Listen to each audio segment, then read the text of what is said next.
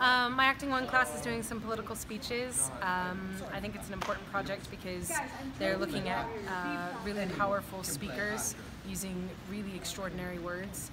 Um, and I think the power that comes from that is really beneficial to any actor to explore. Is life so dear or peace so sweet as to be purchased at the price of chains and slavery? Forbid it! I know not what course others may take. But as for me, give me liberty or give me death. With confidence in our armed forces and with our unbounding determination of our people, triumph is inevitable, so help us God. It is no coincidence that those countries of which I spoke of earlier which had lower levels of inflation, also had lower levels of unemployment. This is no simple reform. It really is a revolution. Sex and race, because they are easy and visible differences, have been the primary ways of organizing human beings into superior and inferior groups, and into the cheap labor in which this system still depends. We are talking about a society in which there will be no roles other than those chosen or those earned. We are really talking about humanism. If it is I, as the chosen head of our nation and our people, then heartily welcome it and bid it Godspeed. It is important to me that everyone who has been hurt know that the sorrow I feel is genuine. Most importantly, my family also, my friends, my staff, my cabinet, Monica Lewinsky, and her family. I have asked all for their forgiveness. But I believe to be forgiven, more than sorrow is required. I want to have the time to look for my children, to see how many of them I can find. Maybe I shall find them among the dead. Hear me, my chiefs, I am tired.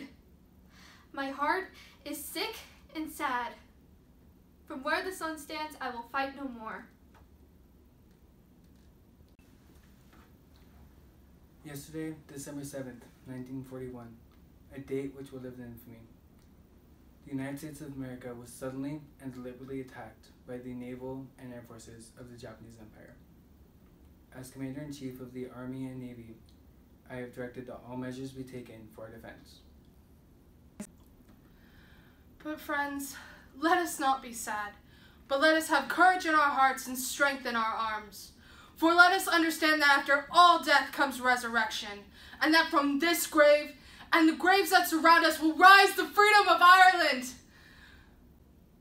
And so, my fellow Americans, ask not what America will do for you Ask what you can do for your country.